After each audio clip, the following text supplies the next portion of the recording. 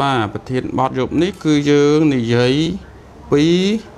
ធ្វើដូចម្ដេចដើម្បីឲ្យខ្លួនយើង មនុស្សយើងនឹងមានអុកស៊ីហ្សែនគ្រប់គ្រាន់សម្រាប់ចិញ្ចឹមសរីរាង្គបាទបាទខ្យល់ដង្ហើមអុកស៊ីហ្សែនណាមានសារៈសំខាន់ណាស់បាទនៅក្នុងការត្រត្រង់ជីវិតណានោះយើងត្រូវការទឹកអាហារនិងខ្យល់ដង្ហើមយើងដឹងហើយថា យើងអត់អាហារយើងអាចរស់បានរយៈពេលយូរបាទពេលយូរដូចជាក្មេងៗយើងដឹងហើយក្មេងសៀមដែលវាជាប់ក្នុងរូងភ្នំហ្នឹងវាអត់អាហារបាទតែវាមានទឹកបាទហើយបើយើងអត់ទឹកក៏យើងអាចរស់នៅបានយូរដែរបាទមិនមិនជាងគ្នាជាមួយនឹងអាហារទេបាទបាទអត់ទឹកអាចស្លាប់មុនអត់អាហារបាទប៉ុន្តែបើយើងអត់អុកស៊ីហ្សែនណា គឺតែរយៈពេលតែ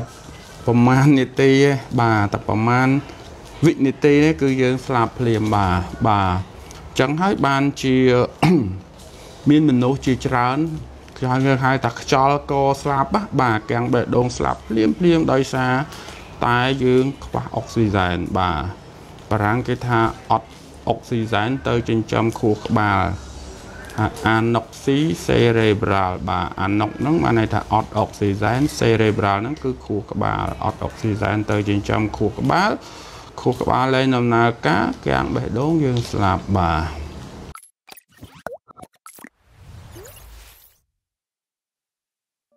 បាទអញ្ចឹងវាមានមូលហេតុច្រើនណាស់ដែលធ្វើឲ្យមនុស្សយើងអឺ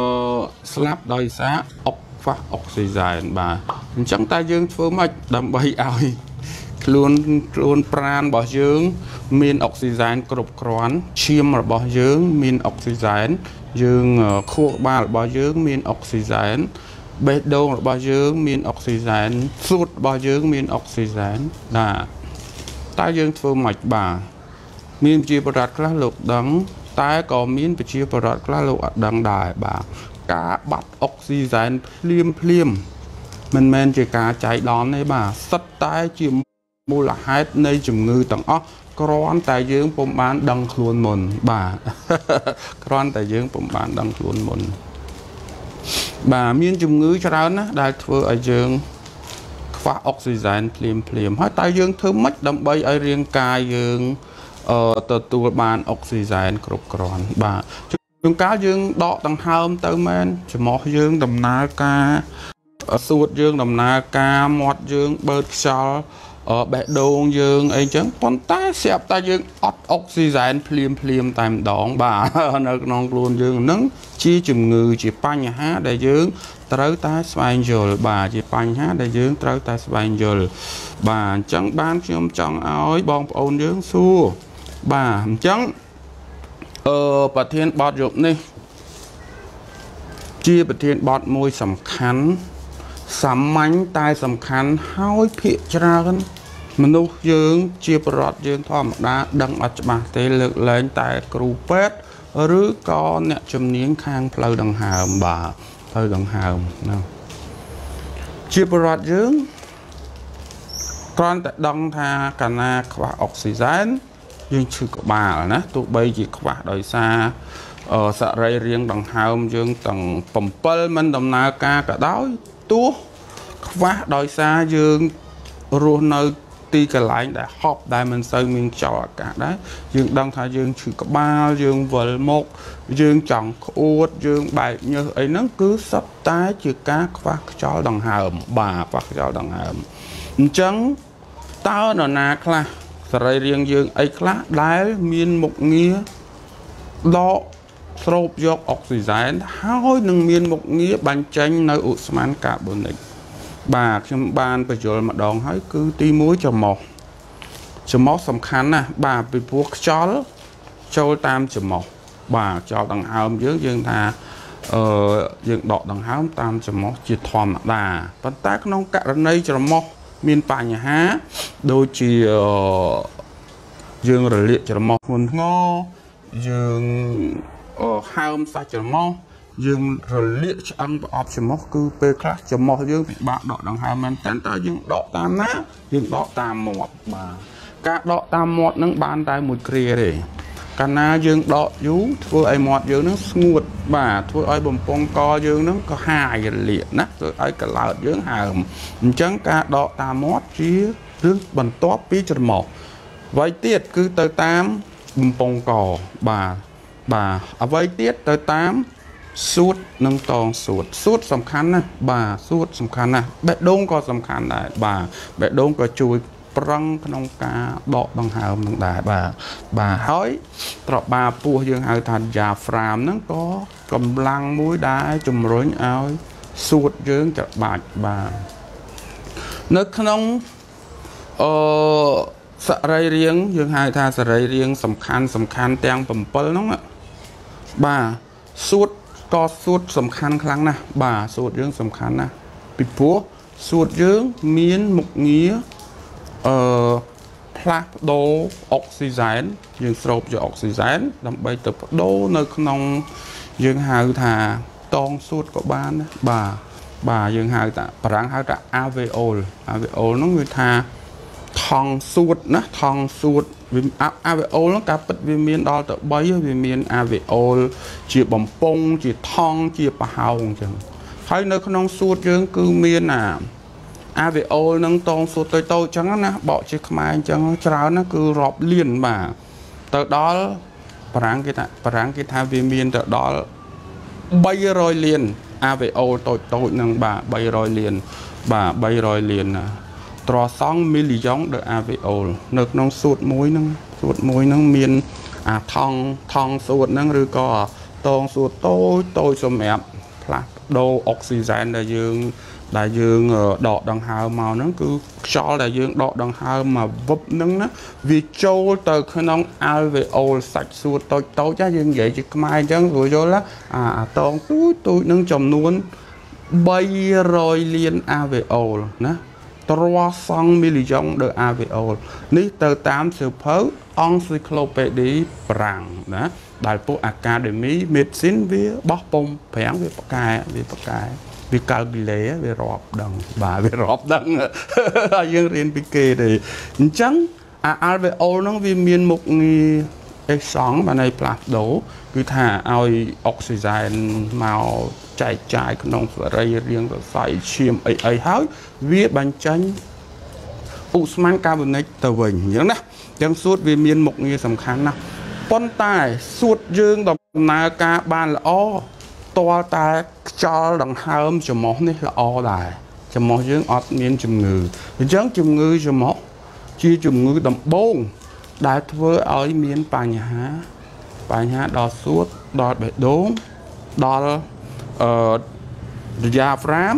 បាទដល់បំពង់កទៀតបើសិនណាជាច្រមុះមានបញ្ហាព្រោះ មុខងារផ្សេងទៀតជាមុខងារសំខាន់ដែរតែបន្ទាប់បន្សំទេព្រោះច្រមុះយើងទោះបីប្រាំងដកយ៉ាងម៉េចក៏អត់អីដែរពីព្រោះច្រមុះវាមានរោមច្រមុះវាមានសាច់ទៀបប៊ីណាតវាមានអ្វីៗជាច្រើនទៀតសម្រាប់ទប់ល្បឿនខ្យល់កុំឲ្យកុំឲ្យលឿនពេកបានន័យថាវាទប់អាភាពរំញ័រណា vibration របស់ខ្យល់ដង្ហើមនោះទោះបីជាខ្យល់ខ្លាំងនេះក៏ច្រមុះយើងអាចទប់បានដែរ ប៉ុន្តែបើច្រមុះណែនយើងហាមាត់ដកខ្យល់ខ្លាំងគឺយើងស្ងួតពងកភ្លាមបាទអញ្ចឹងបងប្អូនយល់ណាយល់ពីហ្នឹងហើយបាទអញ្ចឹងវាមានសារៈសំខាន់ណាស់ការខ្វះអុកស៊ីហ្សែននេះវាមានច្រើនថាជំងឺណាបាទដោយសារជំងឺមួយចំនួនដូចជាជំងឺស្ទះសរសៃឈាមបេះដូងហ្នឹងក៏ឲ្យខ្វះអុកស៊ីហ្សែនដែរកាលណាខ្វះអុកស៊ីហ្សែននៅកន្លែងណាកោសិកានៅកន្លែងហ្នឹងងាប់ភ្លាម បាទរលាកភ្លាមគឺស្លាប់ភ្លាមអញ្ចឹងអាដំបៅបេះដូងហ្នឹងដោយសារកន្លែងហ្នឹងវាស្ទះអាស័យឈាមបេះដូងហ្នឹងវាស្ទះអត់មានអុកស៊ីហ្សែនហ្នឹងទៅចិញ្ចឹមបាទបាទហើយខ្ញុំសូមមិននិយាយពីមូលហេតុនៃដំបៅបេះដូងទេអញ្ចឹងធ្វើម៉េចដើម្បីបានអុកស៊ីហ្សែនពេលយើងឈឺយើងត្រូវការអុកស៊ីហ្សែនបានន័យថាយើងយកធុងអុកស៊ីហ្សែនមក បញ្ចូល មានបញ្ចូលតាមអាទុយោទូទូចូលទៅក្នុងច្រមុះមានដាក់ម៉ាស់ដាក់អីអញ្ចឹងបាទអាហ្នឹងគេហៅថាអុកស៊ីហ្សែនថេរ៉ាពីឬក៏ artificial បានន័យថាអាអា pressure ហ្នឹងយើងបញ្ចូលហ្នឹងវាដើរជំនួសចំមកជំនួសសួតជំនួសអីយើងបានខ្លះណាវាជាជំនួយ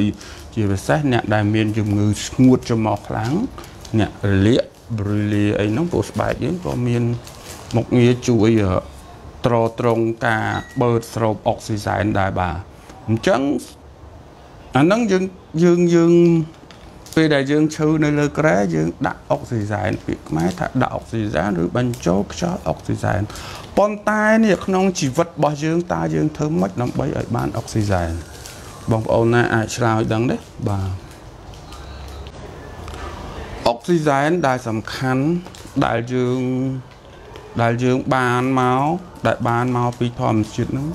ទី1នៅក្នុងបរិយាកាសដែរបាទនៅក្នុងបរិយាកាសដែលសម្បូរខ្យល់អុកស៊ីសែនបានន័យថានៅតំបន់ដែលសម្បូរព្រៃឈើបាទនៅកន្លែងណាដែលសម្បូរព្រៃឈើគឺព្រៃឈើនឹងបានផ្ដល់អុកស៊ីសែនឲ្យយើងបាទអាហ្នឹងអាហ្នឹងមួយទី2ទៀត អុកស៊ីសែនដែលបានដែលអាចចិញ្ចឹមសរីរាង្គយើងបានដោយសារអីបាទបានដោយសារយើងធ្វើកីឡា បាទបានន័យថាដែលធ្វើការហាត់ប្រាណមានតែការហាត់ប្រាណតែមួយគត់ដែលមានតម្លៃលើសលប់ហើយដែលយើង យើងទាំងអស់គ្នាមើលអត់ឃើញ ការហាត់ប្រាណហ្នឹងគេអាចហៅថាជាអុកស៊ីសែនថេរ៉ាពីជាការបំពេញអុកស៊ីសែនទៅឲ្យសរីរាង្គបាន កាលណាយើងហាត់ប្រាណបានន័យថាដំណើរឈាមរត់របស់យើងបានល្អអុកស៊ីសែននឹងបានចែកចាយទៅតាមទីកន្លែងទាំងអស់ហើយកាលណាយើងហាត់ប្រាណសាច់ដុំបេះដូងរបស់យើងក៏ល្អចង្វាក់បេះដូងរបស់យើងក៏រត់ស្រួលសួតយើងក៏ដំណើរការល្អសរសៃសសោងឈាមទូចទូចអីហ្នឹងវារត់បានល្អអញ្ចឹងការហាត់ប្រាណជាជាវិធីព្យាបាលតែមួយគត់ ដែល សម្រាប់អុកស៊ីសែននឹងបាទអុកស៊ីសែនថេរ៉ាពីនឹងបាទបាទអញ្ចឹងធានបត់ថ្ងៃនេះគឺថាខ្ញុំនិយាយជាទូទៅរបៀបជាអង្គស៊ីក្លូពេឌីជាចំណេះដឹងទូទៅមិនមែនជាជាបច្ចេកទេសសម្រាប់ក medical ទេបាទសម្រាប់អ្នកធ្វើការខាងសុខាភិបាលទេអញ្ចឹងខ្ញុំនិយាយដើម្បីឲ្យប្រជាពលរដ្ឋយើងលោកយល់លោកយល់ថា អុកស៊ីសែនថេរ៉ាពីហ្នឹងមានពីរទី1យើងឈឺធ្ងន់រហូតដល់มันអាចដកដង្ហើមបានស្រួលយើងយកធុងណាខ្មែរយើងហៅថាធុងអុកស៊ីសែនមកបញ្ចូលនឹងប៉ុន្តែបើសិនណាជាយើងមានកម្លាំងកំហែងត្រឹមត្រូវយើងគ្រាន់តែហាត់ប្រាណហ្នឹងក៏យើងបានអុកស៊ីសែនដែរបាទបានន័យថាកាលណាយើងហាត់ ប្រាណសាច់ដុំយើងល្អសាច់ដុំតែសាច់ដុំល្អសាច់ដុំបេះដូងហ្នឹងក៏ល្អដែរបាទកាលណាសាច់ដុំបេះដូងល្អបេះដូងវាច្បាច់អុកស៊ីសែនយើងនេះបាទឈាមឈាមយើងហ្នឹងដែលឈាមហ្នឹងមានឈាមក្រហមមកឈាមក្រហមហ្នឹងមានអុកស៊ីសែនហ្នឹងមកចិញ្ចឹមអវយវៈចិញ្ចឹមខួរក្បាលបាច់មកទៅវិញទៅមកទៅវិញទៅមកគឺបាន ដោយសារការហាត់ប្រាណអានោះហើយជាអុកស៊ីសែនថេរ៉ាពីជាការព្យាបាលដោយ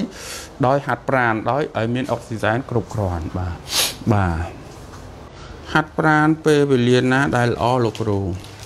កាប់ពិតណាយើងគូហាត់ប្រាណពេលព្រឹកបាទឬក៏ពេលល្ងាចដែលយើងសម្រាកប៉ុន្តែអ្នកខ្លះព្រឹកគឺរវល់ណាបាទល្ងាចក៏រវល់ដែរល្ងាចជួនកាលអ្នកខ្លះអត់មានពេលសម្រាកល្ងាចទេជាប់ការងារពេលល្ងាចអ្នកខ្លះ ងើបពីដេកមករវល់រហូតអញ្ចឹងយើងរងចាំពេលណា ពេលណាក៏យើងហាត់បានដែរបាទបាទអ្នកខ្លះហាត់កដាលថ្ងៃត្រង់ខ្ញុំឃើញគេរត់កដាលថ្ងៃត្រង់អ្នកដែលមានបញ្ហា បាទបញ្ហាបេះដូងបញ្ហាសួតបញ្ហាអីគឺថាកដាលថ្ងៃត្រង់ក៏ហាត់បានដែរដូច្នេះការហាត់អត់មានពេលវេលាទេការហាត់ប្រាណអ្នកខ្លាំងតើងើបហាត់ប្រាណពេលព្រឹកបានល្អអ្នកខ្លះតើហាត់ប្រាណពេលល្ងាចបានល្អទ្រឹស្ដីចាស់ ទ្រឹស្ដីថ្មីគឺអត់ទេយើងឆ្លៀតហាត់ពេលណា យើងហាត់ពេលហ្នឹងទៅអត់បញ្ហាទេគ្រាន់ថាពេលក្តៅយើងហាត់ក្នុងម្លប់អញ្ចឹងទៅណាហ្នឹងហើយយើងហាត់កុំឲ្យវាឆាប់ហត់ពេកដូចថាពេលក្តៅខ្លាំងយើងទៅរត់វាតង្ហក់ឲ្យតែបើយើងដើរមុំមុំឬក៏យើងធាក់កង់អីអញ្ចឹងវាអត់អីទេណាបាទពេលក្តៅយើងហែលទឹកត្រជាក់ការហាត់ប្រាណហ្នឹងក៏ល្អពេលក្តៅយើងលេងពេញប៉ុងក្នុងម្លប់អញ្ចឹងការហាត់ប្រាណ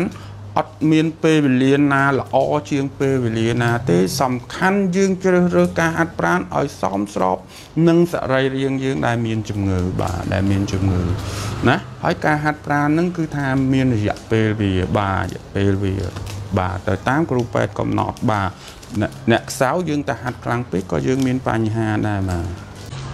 បាទអញ្ចឹងយើងត្រូវការអុកស៊ីសែនដើម្បីអ្វីអុកស៊ីសែនណាក្រោក្រៅតែវាចិញ្ចឹមសរីរាង្គយើង បាទដង្ហើមក្រោយតែវាទៅចិញ្ចឹមក្របឈាមក្រហម ដើម្បីក្របឈាមក្រហមនឹងនាំអុកស៊ីសែននាំវីតាមីននាំអវ័យអវ័យទៅចិញ្ចឹមរាងកាយអុកស៊ីសែនមានតួនាទីមួយទៀតគឺធ្វើឲ្យអ៊ីមូនីតេយើងផ្លាស់ប្ដូរបាទគេថា modulate immunity បានន័យថា modulation immunity ធ្វើឲ្យសរីរាង្គយើងដែលមានយើងហៅថាកម្លាំងធាតក៏បានដែរណា immunity ដែលកម្លាំងកំហែងខ្សោយបាទពេលណាយើងមានអុកស៊ីសែនគ្រប់គ្រាន់អឺយើងមានកម្លាំងខ្លាំងណាយើងមានកម្លាំងខ្លាំងឧទាហរណ៍នៅក្នុងជំងឺ malady viral ជំងឺដែលបង្កដោយវីរុសនេះកងនេះណាបាទណាចា ជំងឺដែលបង្កដោយវីរុសច្រើនណាស់ដែលយើងត្រូវការអុកស៊ីសែនគ្រប់គ្រាន់ពីព្រោះមានវីរុសខ្លះយើងអត់តន់មានថ្នាំទៅសម្លាប់ទេបាទដូចជាវីរុសជំងឺរលាកថ្លើមបេឬក៏វីរុសវីរុសខ្លះណាបាទដែលយើងដូចជាមេដឹកនាំវៀតណាមគាត់ទទួលមរណភាពដោយសារជំងឺវីរ៉ាល់ហ្នឹង ជួនកាលក៏ដោយសារ immunity របស់យើងដែរបាទដោយសារ immunity របស់យើងដែរដូចថាគាត់ធ្វើការច្រើនពេកគាត់ពិសាបារីឬកាហ្វេដែលធ្វើឲ្យខ្យល់ដង្ហើមគាត់នឹងអុកស៊ីសែនគាត់អត់គ្រប់គ្រាន់ក៏ធ្វើឲ្យ immunity គាត់នឹងចុះដែរបាទកាលណា immunity ចុះយើងអត់អាចប្រឆាំងនឹងវីរុសបានទេពីព្រឹកទាំងអស់យើងអត់ទាន់មាន សមត្ថភាពនិងសម្រាប់វាទេវាមិនមិនមែនថាច្រើនទេមានមកចំនួនតូចគឺថាពួកអ្នកជាសាសអត់តន់អាចធ្វើឱសថដើម្បីសម្រាប់ពួកវីរុសអស់នឹងបានទេបាទបាទដោយសារកម្រិតនៃឱសថហ្នឹងវាវាមានកម្រិតបាទវាមានកម្រិតណា ជំងឺខ្លះក៏ធ្វើឲ្យយើងខ្វះអុកស៊ីសែនដែរបាទឧទាហរណ៍ជាជំងឺដែលបង្កឡើងដោយពួកខ្លាញ់នៅក្នុងសរសៃឈាមបាទលីពីតនៅក្នុងសរសៃឈាមដែលយើងហៅកូលេស្តេរ៉ុលហ្នឹងការពិតកូលេស្តេរ៉ុលអត់មានល្អមានអាក្រក់ទេក៏ប៉ុន្តែវាមានពួកខ្លាញ់ខ្លះដែលវាប្រូតអ៊ីនខ្លះដែលដឹកនាំខ្លាញ់ទៅថ្លើមហ្នឹងវាអត់បានល្អវាធ្លាក់រប៉ាត់រប៉ាយតាមសរសៃឈាមអញ្ចឹងណា ហើយជួនកាលយើងមានជំងឺខ្លះយើងក្របឈាមក្រហមយើងវាស្លាប់ច្រើនអញ្ចឹងទៅវាវារលួយនៅក្នុងសរសៃឈាមហ្នឹងបូកផ្សំនឹងខ្លាញ់លីពីតនៅក្នុងនឹងផងធ្វើឲ្យយើងស្ទះសរសៃឈាមកាលណាយើងស្ទះសរសៃឈាមបានន័យថាអុកស៊ីសែនតែកន្លែងហ្នឹងអុកស៊ីសែនទៅអត់ដល់ទេវារួមត្បៀតចឹងទៅវាអ៊ីស្គីមីបាទវាវាដាច់សរសៃឈាមវារលួយកន្លែងហ្នឹងដោយសារ យើងខ្វះអុកស៊ីសែនក៏ធ្វើឲ្យយើងគ្រោះថ្នាក់ដល់អាយុជីវិតដែរបាទអញ្ចឹងខ្ញុំរំលឹកឡើងវិញអុកស៊ីសែនគឺមានសារៈសំខាន់ណាស់បាទអុកស៊ីសែនខ្លះយើងបានមកដោយសារយើងអឺបញ្ចូលពេលណាយើងឈឺធ្ងន់អញ្ចឹងលោកគ្រូពេទ្យគាត់បញ្ចូលអុកស៊ីសែនបាទហើយអុកស៊ីសែនខ្លះបានមកដោយសារការដែលយើងហាត់ប្រាណការហាត់ប្រាណហ្នឹងសំខាន់ណាខ្ញុំអាចតាការហាត់ប្រាណហ្នឹងជា អុកស៊ីសែនទេរ៉ាពីហើយអុកស៊ីសែនហ្នឹងវាមិនមែនមានមុខងារសម្រាប់តែត្រត្រង់ដង្ហើមទេកាលណាអុកស៊ីសែនគ្រប់គ្រាន់អុកស៊ីសែនហ្នឹងវាជួយដល់ទៅ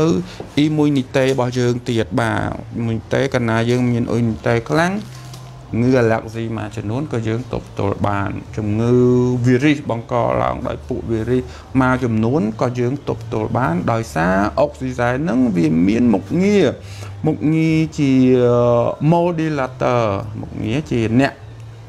ផ្លាស់ប្ដូរ immunity យើងពីខ្សោយឲ្យមកខ្លាំងបានអញ្ចឹងពេលដែលយើងមានសភាពខ្សោយយើងឧស្សាហ៍ឡើងភ្នំ ឬក៏នៅតំបន់មាត់សមុទ្រដែលមានខ្យល់អាកាសល្អហ្នឹងក៏ជាការព្យាបាលជំងឺយើងដែរបាទបាទសពថ្ងៃបញ្ហារបស់ប្រជាជនយើង គឺថារឿងខ្វះអុកស៊ីហ្សែនហ្នឹងដោយសារយើងសំណុកដែរបាទយើងសំណុកពេកឬក៏យើង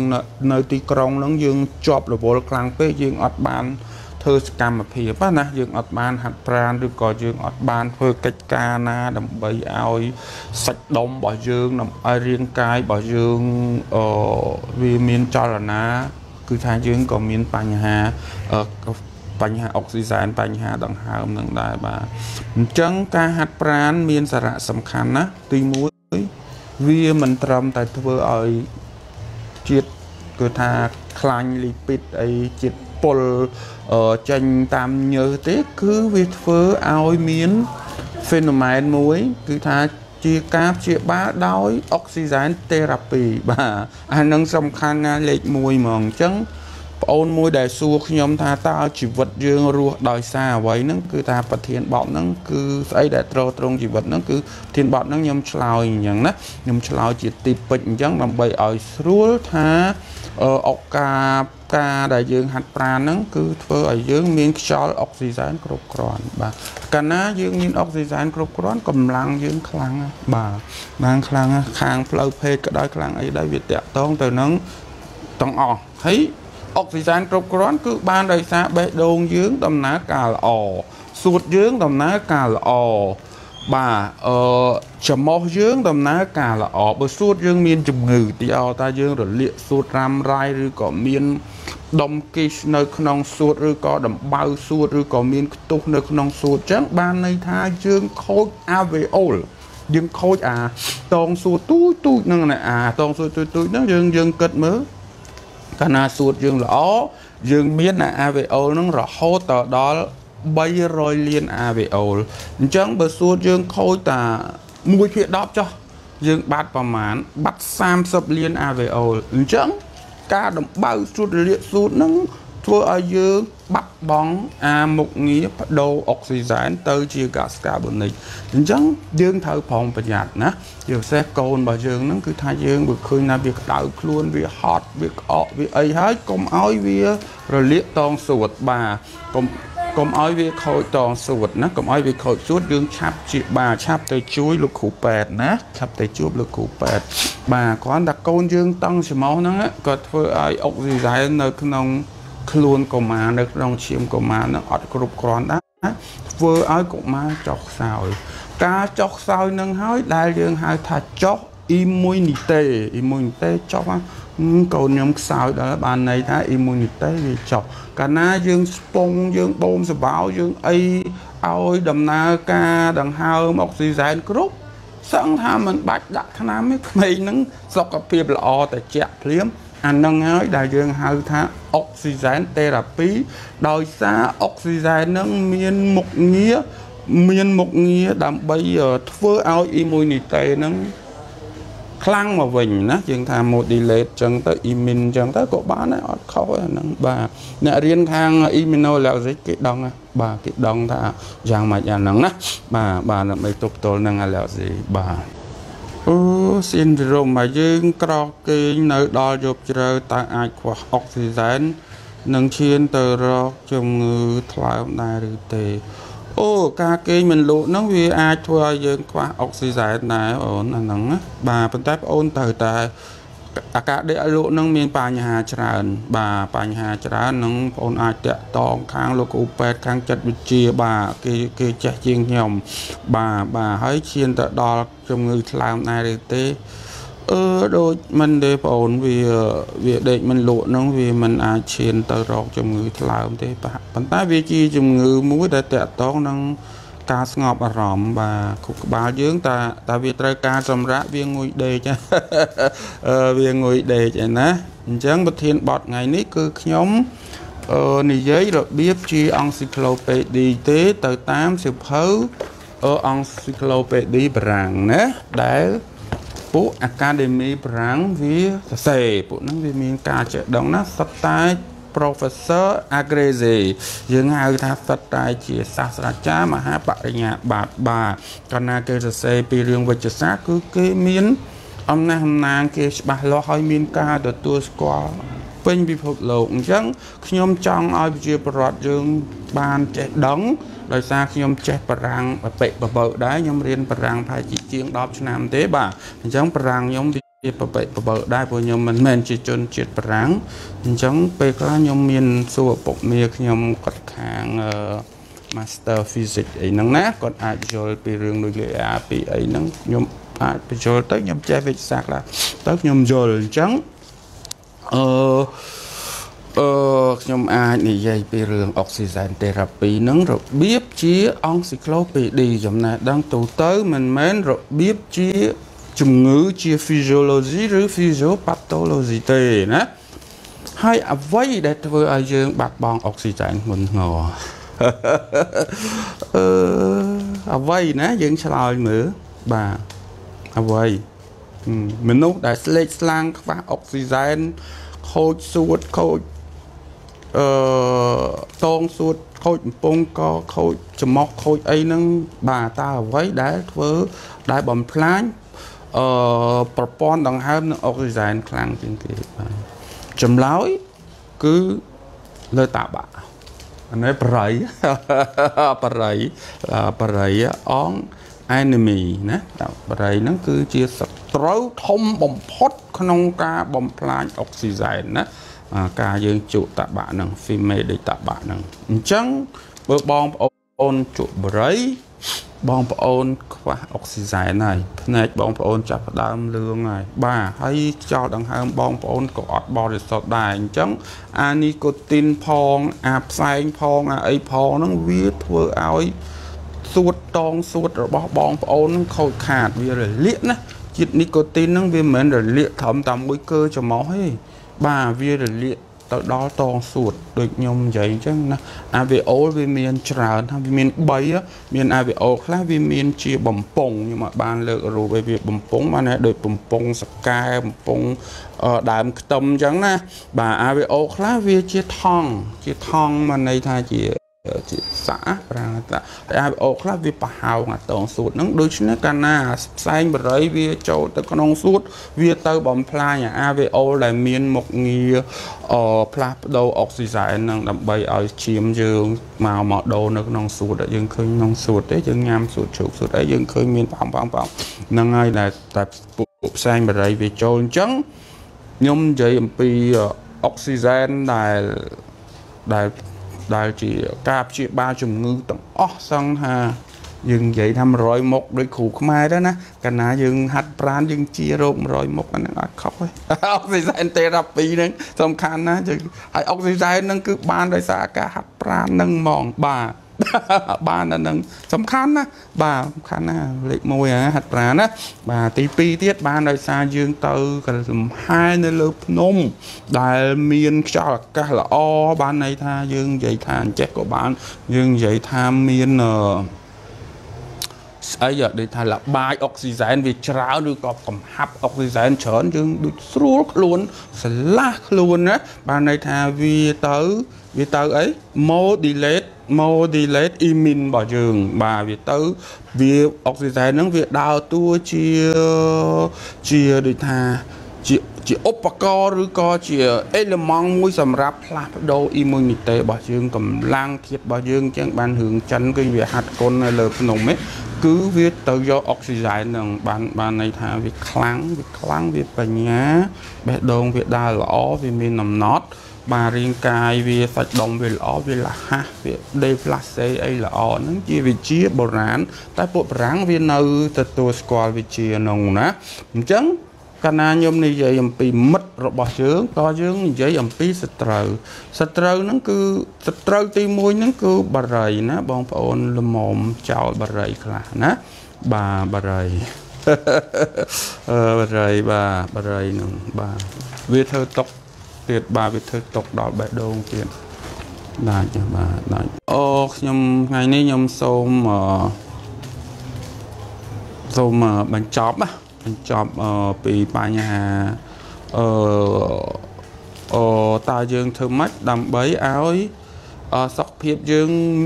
សរីរាង្គមានអុកស៊ីហ្សែនគ្រប់គ្រាន់គឺទី1គឺហាត់ប្រាណបាទទី2គឺយើងញ៉ាំអាហារណាដែលមានជាតិបន្លែបៃតងណាព្រោះអីអាហារដែលមានជាតិខ្លាញ់វាទៅធ្វើឲ្យសរសៃឈាមយើងស្ទះអឺវាក៏ធ្វើឲ្យអាឡែង ចរន្តឈាមដែលរត់ទៅចិញ្ចឹមខួរក្បាលចិញ្ចឹមបេះទៅបេះដូងទៅអីដែលយើងច្បាច់ពីសួតទៅ វាស្ទះកាលណាស្ទះវាតវ៉ៅតវ៉ៅយើងជួយបាលតន់ច្រមុះប៉ះទាំងបំពង់កប៉ះទាំងអង្គផ្អប់ច្រមុះប៉ះទាំងអស់បាទប៉ះទាំងអស់បាទអញ្ចឹងខ្ញុំសូមបញ្ចប់ការអត្ថាធិប្បាយខ្លីៗពីអឺ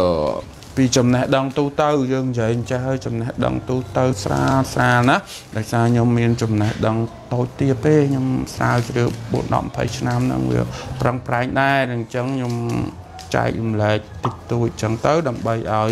បងប្អូនយើងដឹងកាលណាយើងដឹងយើងអាចការពារបាន យើងអាចការពារខ្លួនយើងបាន ហើយក៏មិនអាចឲ្យអ្នកផ្សេងពួកឱកាសនិយមភូតផលកុហកយើងដែរ